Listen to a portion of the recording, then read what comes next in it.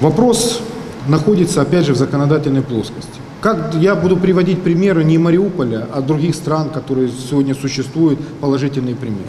То есть сегодня мы с вами можем шлак погрузить на баржу и отправить ее морем. И есть сегодня заказы итальянцев, которые готовы покупать, что они будут с ним делать, это уже их задача, их проблема, но они готовы это покупать. Почему это они не покупают? Потому что только как погрузив, сразу этот шлак превращается в золото, а не просто отходы производства.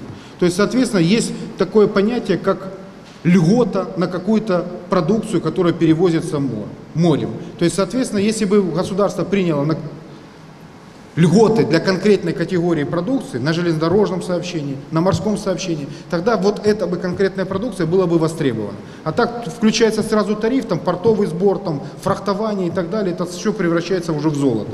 Второе, то, что я также видел в Европе, примеры позитивные, положительные. То есть принимается законодательная инициатива, вносится в наши строительные нормы, что мы сегодня в основу дорожного покрытия исключительно должны использовать не щебень, а шлак металлургического производства. Так это в Германии сегодня работает. И, соответственно, тогда это шлак металлургического производства, а мы сегодня же говорим о глобальной стройке автомобильных дорог в Украине, бетонном строительстве автомобильных дорог, о платных уже дорогах. Но впишите, пожалуйста, одной строчечкой, пунктиком в СНИП государственный строительный, что вот это должно обязательно использоваться в дорожном строительстве, это сразу решит проблему. Тогда будет ажиотаж, то есть появится спрос. А сегодня спроса нет.